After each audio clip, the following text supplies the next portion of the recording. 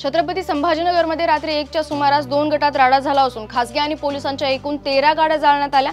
सध्या परिस्थिती नियंत्रणात असून अफवांवर विश्वास ठेवू नका असं आवाहन पोलीस आयुक्तांनी केलं. छत्रपती संभाजीनगरचा तणाव निवडला आहे. आम्ही त्यावर लक्ष ठेवून आहोत. आता काळजी करण्याचे कारण नाही पोलिसांनी बंदोबस्त लावलेला आहे. माझी सगळ्यांना सूचना आहे की कुणीही तणाव निर्माण करू नये शांतता ठेवावी असं आवाहन छत्रपती संभाजीनगर वासियांना उपमुख्यमंत्री देवेंद्र फडणवीस यांनी केलं. भाजप आणि एमआयएमचा जनाधार कमी होतोय म्हणून शहरातील वातावरण बिघडवलं जात आहे असा आरोप ठाकरे गटाचे आमदार आणि विधान परिषदेचे विरोधी पक्षनेते अंबादास दानवे यांनी केले.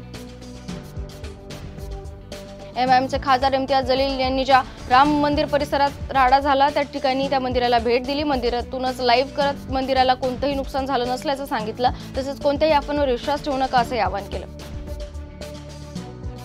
पालकमंत्री संदीपान भुमरेंनी किराडपुरा भागाची पाहणी केली. दंगेखोरांवर गुन्हे दाखल करून दोषींवर कडक कारवाई केली जाईल असं आश्वासन पालकमंत्री संदीपान भुमरे यांनी दिले.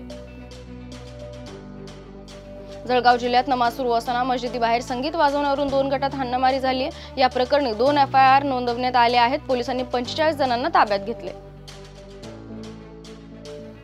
छत्रपती संभाजीनगर शहर पोलिसांनी मोठी कारवाई करत शहरात येणाऱ्या अवैध गुटख्याच्या गोडाऊनवर छापा टाकला आहे. या कारवाईत तब्बल एक्क्याऐंशी लाख चौवेचाळीस हजारांचा मुद्देमाल पोलिसांनी जप्त केलाय. देशात गेल्या चोवीस तासात तीन हजार सोळा नवीन रुग्णांची नोंद झाली आहे जी जवळपास सहा महिन्यातील सर्वाधिक आहे. यासोबतच कोरोनाच्या सक्रिय रुग्णांची संख्या तेरा हजार पाचशे नऊवर पोहोचले त्याचप्रमाणे रोजचा पॉझिटिव्हिटी दर हा दोन पूर्णांक त्र्याहत्तर टक्क्यांनी वाढला आहे. संभाजीनगर शहरात आगामी सार्वजनिक सण उत्सवाच्या अनुषंगाने जिल्हास्तरीय मध्यवर्ती शांतता समितीची बैठक पार पडली. सण उत्सवावेळी धार्मिक तेढ निर्माण करणाऱ्या लोकांवर कठोर कायदेशीर कारवाई करण्यात येणार असल्याचा इशारा पोलीस अधीक्षक मनीष कालवानिया यांनी यावेळी दिला सलमान खानला हायकोर्टने दिलासा दिलाय. दोन हजार एकोणावीसच्या पत्रकार मारहाण प्रकरणी सन्मान कोर्टाने रद्द केलाय. त्यामुळे आता सलमान खानला दिलासा मिळाला.